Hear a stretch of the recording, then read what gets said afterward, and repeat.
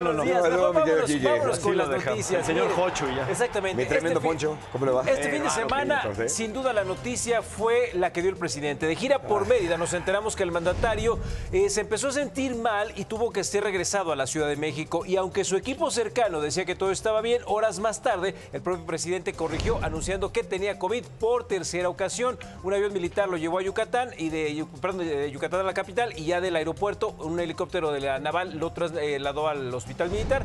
Ya está en Palacio Nacional y por el momento se dio a conocer a través del diario de Yucatán que primero había sido un malestar cardíaco. Ya después dijeron que no, que el- su corazón está al 100%, solo se va a tomar un receso por del COVID. En este momento, quien está despachando el... eh, la presidencia, por decirlo de alguna manera, es el secretario de Gobernación, incluidas las mañaneras. Y Ay, además, bueno, ay, el secretario de. Gobernación ya dijo que en dos o tres días el presidente va a regresar. Ay. Supuestamente, el COVID tiene que tener una semana de receso, pero mira, el presidente en tres días ya está. Joven. No, Pero eh, qué bueno, ojalá que se me Sí, sí, sí. ¿no? Yo, yo lo primero que quiero decir es que se recupere el, el presidente, ¿no? Y que esté bien. Ayer, la verdad, pues sí hubo muchísimas especulaciones en todas partes. Quizá faltó aclarar de una manera puntual y de manera más clara. Sí. lo, que, lo que sucedió, porque esto de alguna manera fomenta eh, tanta especulación, Especulación, eh, claro. que yo la verdad también la- lamento muchísimo de repente las expresiones que se dieron de diferentes personajes en redes sociales Ah, claro, no, bueno. en relación a la salud del presidente grotescas, ¿no? Y ya estuvo bueno de polarización y de, de perdernos con... Que hay- un nivel que podemos tener, y aquí lo hemos tenido, Ah, no, conversaciones claro. acaloradas en el ámbito No, de la no, política. por supuesto. Pero ya, bueno, hablando Ayer vimos cosas ya. completamente fuera de lugar. Sí, no, no, y el señor presidente hay Se que, mejore, hay que que se darle el respeto que el señor presidente se merece. A cualquier persona, ¿no? Que se recupere y Bueno, el, mal pero por de- supuesto. con la salud de una persona y por favor. Eh, no, no, pero bueno, vamos a otras cosas. Oigan, híjole, qué padre era antes recorrer nuestro eh, territorio en carretera, ¿no? Bueno, tú que eres biker, En en la motocicleta, ir Oye, por los ¿no caminos. sabes qué horror es circular una carretera mexicana hoy? No solo por las condiciones, sino también El por la seguridad. Y es que les digo esto Sobre porque eso, ¿no? vamos a ver unas imágenes. Esto sucedió en la Ah, carretera. Veracruz-Puebla. Imagínense nada más, en Cumbres de Maltrata, unos tipos Ouch. cierran, asaltan a los, auto- a los automovilistas, e incluso se ve cómo se llevan a unos trailers. Según fueron Míralo. 15 personas al menos, bueno, 15 conductores los afectados por este asalto.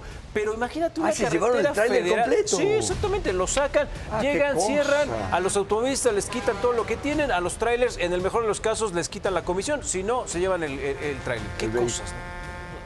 Ah, ya, ya, ya, ya, ya, ya, Es una ya. pena, la verdad es que ojalá y fuera Es que no es la una única pena, autopista. Poncho, es una vergüenza, esto no es una pena, es una vergüenza. No, bueno, por me refiero a que yo lo lamento mucho, ¿no? Claro, tú dices. es o sea, es que no podemos eh, pensar en el desarrollo correcto de un país si no tenemos unas vías de comunicación seguras. Pero con lo que le han invertido en la seguridad y que No, tengamos bueno. estos escenarios, dices, oye, ¿qué Pero está es pasando, increíble y cuánto sabemos, o sea, sabemos dónde están estos delincuentes, cómo operan, porque andan por todas partes, pero están también muy localizados. o sea, y de repente ya están recomendando las autoridades, oigan, por este lugar ni pasen, Ah, mucho menos en la noche. Pero no fuera el metro Por porque ahí sí, favor. 4.000 elementos. Cuatro Pero mil es que elementos, ¿no? si ahí están, de veras, o sea, Es que no, no, puede ser. O sea, Esto le está dando al traste al país. Los, los traileros que les mandamos un saludo a nuestros queridos amos del camino están muy preocupados, pero además al fin y al cabo las cargas están aseguradas.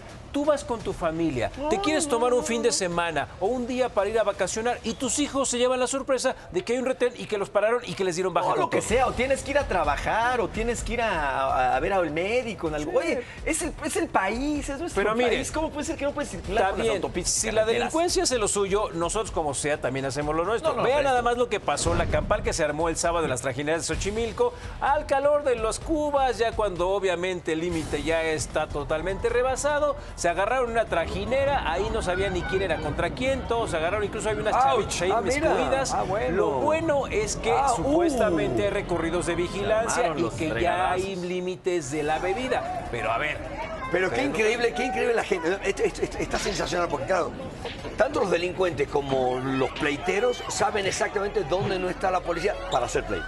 Eso O- es todo, vamos. o la policía dice, porque policía no hay un montón, claro. Policía hay por todos lados, menos donde tienen que estar. Entonces, Hijos de la manzana, tenemos que caray. bajarle todos a la violencia, todos. y es que todos lo estamos viendo, ¿no? Pero bueno, son las autoridades. Eh, bueno, en fin. Saludos a Xochimilco. Oigan, y finalmente nos vamos con, esta yo creo que es una llamada de atención. No ocurrió aquí en México, ocurrió en Madrid. Estaba un mesero eh, preparando estas cosas que Ah, le hacen sí, con los platos sí, del soplete y demás. El fuego se sale de control, se prenden las plantas que estaban en el techo. El resultado, dos personas muertas, seis heridos de gravedad, cuatro heridos leves. Fueron trasladados todos al hospital.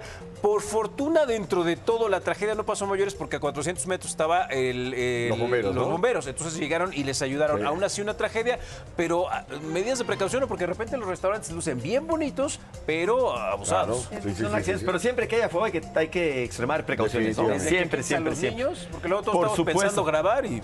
Sí, claro, y luego el niño ahí pues, quiere tocar el fuego. bueno. En fin, Cuidado, así nuestro país. Oigan, ayúdenos, por favor. ¿Quién es esta persona que aparece en su pantalla? Se llama Alison Itzel Gutiérrez Méndez.